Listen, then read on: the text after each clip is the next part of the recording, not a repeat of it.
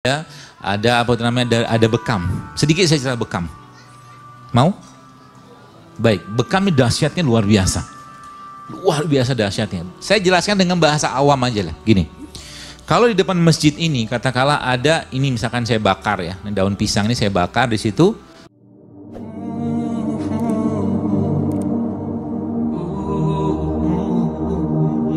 Yang bangun malam segala macam tadi. Baik. Lalu kita akan bahas bagaimana tadi tentang puasa ya, sedikit tentang puasa. Tadi tentang ada puasa 30 hari, kemudian ada ada puasa uh, Senin Kamis, ada puasa Yamubin, ada puasa 6 hari setelah Syawal segala macam puasa-puasa sunnah yang lain. Lalu habis itu ada ada ada ada ada apa namanya ada, ada bekam. Sedikit saya cerita bekam. Mau? Baik, bekam ini dahsyatnya luar biasa. Luar biasa dahsyatnya. Saya jelaskan dengan bahasa awam aja lah. Gini. Kalau di depan masjid ini katakanlah ada ini misalkan saya bakar ya, daun pisang ini saya bakar di situ muncullah api kecil dan eh, apa tuh namanya asap kecil sedikit. Pertanyaannya bagaimana apakah dengan api kecil seperti ini katakanlah misalkan Densus, Kopassus, Marini bisa datang atau mungkin Gegana atau Jihandak itu bisa datang? Enggak lah, paling datang Hansip, itu pun kalau ada yang laporin. Kan gitu. Ilustrasi begitu.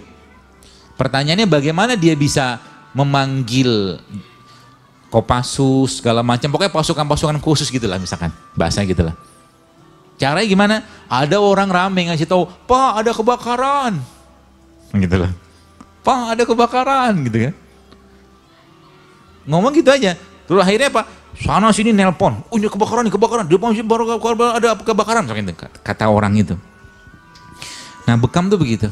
Jadi ketika yang dilakukan kecil, tapi akhirnya dikabarin terus menerus kayak begitu, maka apa yang terjadi? Yang terjadi pasukan khususnya datang. Kebakaran yang awal dilakukan dengan cara apa? Dengan cara tusukan itu. Itu kebakarannya. Kebakaran kan, dia ngasih tahu ke sini.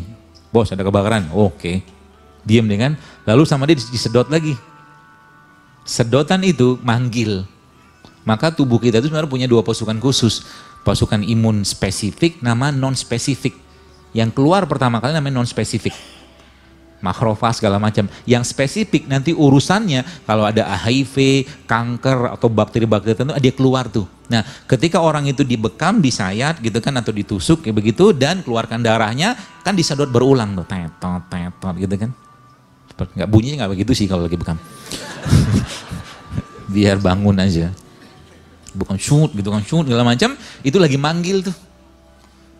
Saya cuma sekali aja. Kan di kop gitu kan, duk, duk, duk, duk, duk, gitu kan. Itu udah manggil, udah, udah kebakaran. Datanglah pasukan namanya non spesifik, makrofa, leukosit segala macam datang.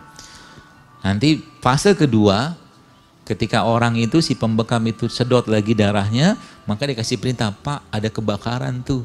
Yang di sini akhirnya apa? Memerintahkan pasukan-pasukan khususnya badan, yang disebut dengan imunitas spesifik itu untuk mendatangi tempat tadi. Kalau mendatangi tempat tadi apa yang dikerjakan? Dia cuma nggak datangi tempat tadi doang, dia patroli seluruh badan.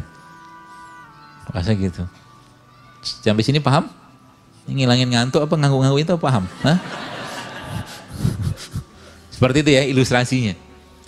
Maka orang yang mengikuti pola-pola Nabi sekarang itu subhanallah. Puasa Senin Kamis dua kali empat delapan. Ayamul bid tiga delapan tambah tiga sebelas dibersihkan badannya, di detox dulu. Kan?